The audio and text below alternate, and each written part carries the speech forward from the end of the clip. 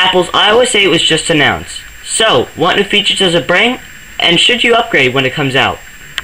So right now, Apple's iOS 8 is still in beta. It's actually in beta 1 right now. And I do not have it to demo. But, for to make up for that, I will be showing you iOS 7 and explaining to you the new parts about iOS 8. In iOS 8, there's a lot of things that are going to be new. But for now, I'm just going to cover a few. So first off, let's go into the camera. Now as you see here, we have the normal camera modes here. But will be added will be a time-lapse feature to the left of the slow-mo camera.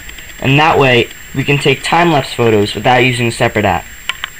When iOS 8 comes out, there'll also be a nice health app involved too. We'll check stuff like your eating and how much you sleep. A lot of people are raving about how Touch ID is going to be uniquely integrated and also is going to have third-party support. This way developers can use it for their own apps.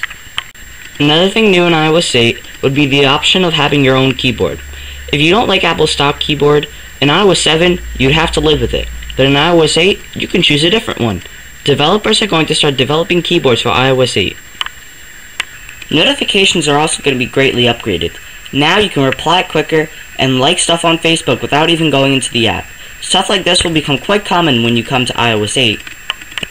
Another thing that's going to be greatly improved in iOS 8 is the Notification Center. Now you'll be able to add your own widgets from third-party apps. Again, third-party notifications will be common in iOS 8.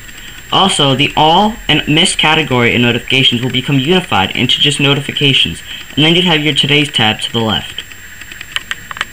In iOS 8, the stock mail app will also be pretty improved. Now, you might not be using a third-party mail app.